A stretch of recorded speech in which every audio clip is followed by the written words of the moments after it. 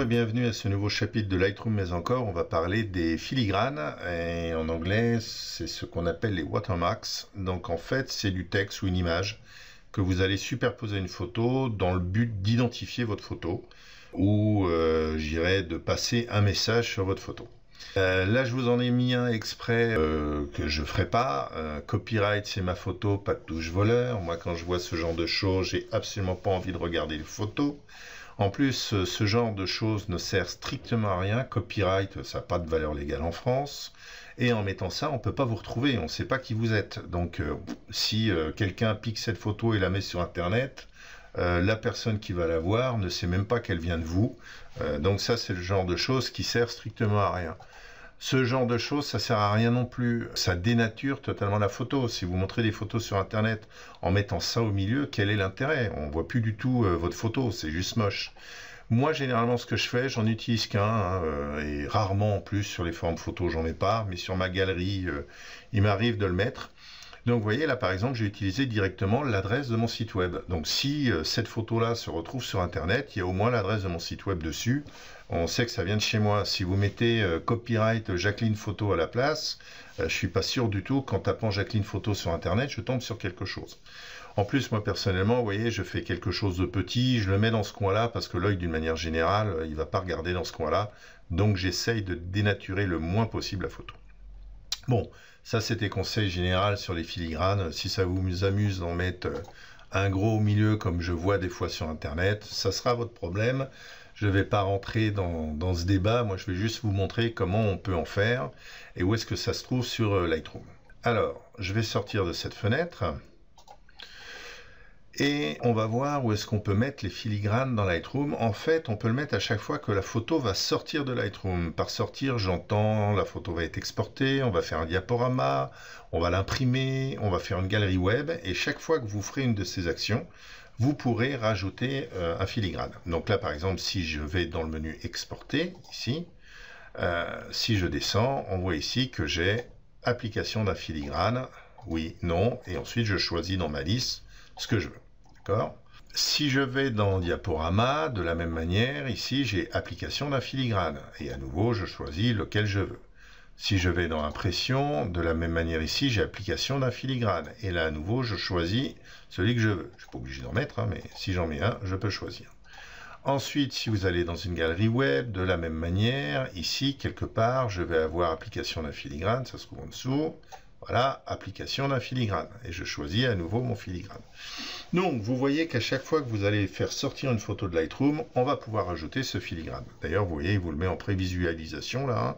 J'ai bien le wiwiphoto.fr qui est le filigrane wiwiphoto euh, que j'ai choisi. Donc revenons dans le module développement bibliothèque, ça sera pareil, on va revenir en bibliothèque et je vais exporter cette photo et je vais vous montrer comment donc on crée un filigrane. Donc ici, il suffit de faire modifier les filigranes, d'accord? Là, je suis sur le filigrane oui photo, mais je peux prendre le copyright, je peux prendre le patouche, je peux prendre le en plein milieu, qui sont des exemples faits exprès euh, pour montrer ce que j'aime pas.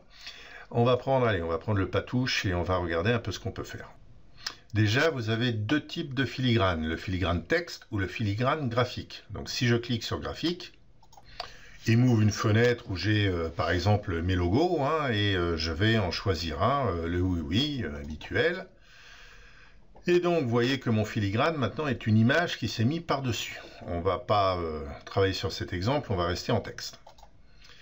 En texte donc il faut déjà rentrer du texte, c'est dans la fenêtre qui se trouve ici en bas, vous pouvez changer votre texte, vous voyez là actuellement c'est pas touche. Vous pouvez ensuite choisir votre police de caractère, hein pourrait prendre n'importe quelle police de caractère. Euh, là, je vais revenir. Moi, je crois que je suis en myriade. Euh, myriade Web Pro, voilà. Ensuite, euh, le style gras, italique, ça c'est les choses de texte habituelles. Hein. Ensuite, vous pouvez décider de centrer votre texte, le mettre à gauche, le mettre à droite, le centrer. Vous pouvez choisir la couleur de votre texte.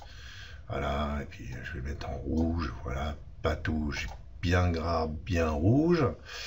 Et ensuite, vous avez quelque chose qui s'appelle l'ombre. Donc, vous allez pouvoir mettre une ombre sur votre texte. Donc euh, là, par exemple, euh, l'ombre, vous voyez, elle disparaît, elle apparaît. On va mettre ce rayon là, en fin de compte, c'est la netteté de l'ombre, ou est-ce que l'ombre elle est euh, très nette, ou est-ce que l'ombre elle est un peu floue. Donc on va, on va la mettre juste un peu floue comme ça, c'est plus facile pour vous faire la démo. Donc ensuite je peux éloigner l'ombre de mon texte ou pas, d'accord? Ensuite je peux dire l'angle, d'accord, de cette ombre. Vous voyez, je peux la faire tourner autour de mon texte. Et ensuite le rayon, c'est ce que je vous disais, plus ou moins net ou plus ou moins flou voyez, je peux faire une ombre comme ça. Ensuite, au niveau du filigrane lui-même, je peux choisir de le voir ou pas. D'accord Donc, vous voyez, vous décidez euh, ici à quel niveau vous voulez le mettre. Et ensuite, ici, vous avez euh, plusieurs choses. Si vous faites ajuster, ajuster, il va mettre le filigrane à l'intérieur des marges. Et les marges, ici, vous pouvez les changer ici. D'accord? Vous voyez, donc là, je rentre plus à l'intérieur, je m'éloigne.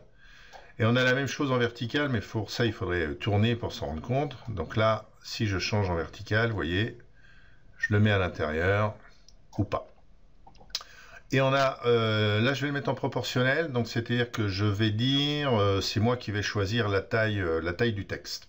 Proportionnel, je vais le mettre ici, je vais le tourner, pardon, dans ce sens-là.